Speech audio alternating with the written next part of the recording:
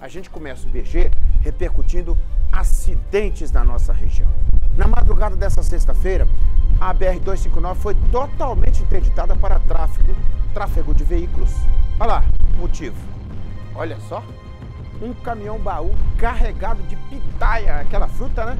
É, ele pegou fogo depois de rodar na pista e bater contra uma árvore. Olha lá o que, que sobrou no final.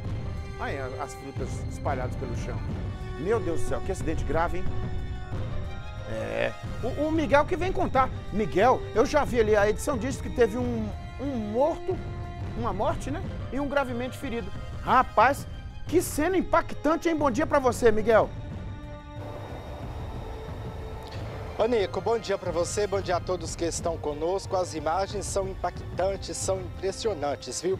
O acidente foi na madrugada desta sexta-feira, mas a Polícia Militar Rodoviária informou que logo pela manhã é o trecho onde ocorreu o acidente foi liberado parcialmente. Pois bem, de acordo com as apurações da PM rodoviária, o motorista teria perdido o controle da direção, bateu contra a árvore, a contra a árvore e em seguida o caminhão entrou em combustão.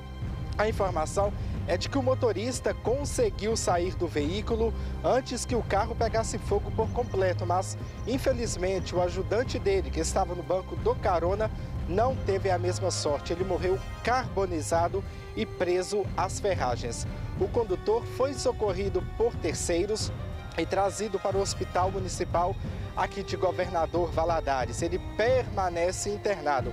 Até o início desta edição, Nico, a gente não obteve a identidade do homem que morreu neste acidente. A gente vê aí nas imagens, né, algumas pessoas que passavam pelo local gravaram usando o aparelho celular o veículo sendo consumido pelas chamas, com impacto também a carga de pitaia, né, que é uma fruta, ficou espalhada pela rodovia e parte ficou queimada. A vegetação também parte da vegetação foi atingida pelo incêndio. Este acidente foi na madrugada de hoje, perto da cidade de Galiléia. E é claro que a gente acompanha essa situação.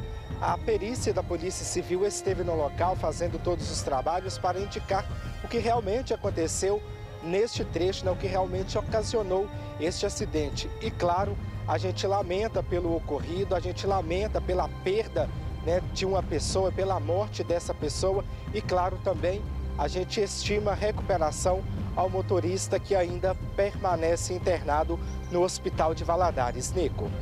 É, e se tiver sido vítima de queimaduras, é mais difícil o processo de recuperação, né, Miguel? Sem contar que deixa marcas terríveis, né? Mas só de ter ficado vivo né, já é um, um lucro, é uma bênção de Deus. Que acidente impactante, né? O fogo consome rapidamente, né? É. Obrigado, viu, Miguel, por sua informação.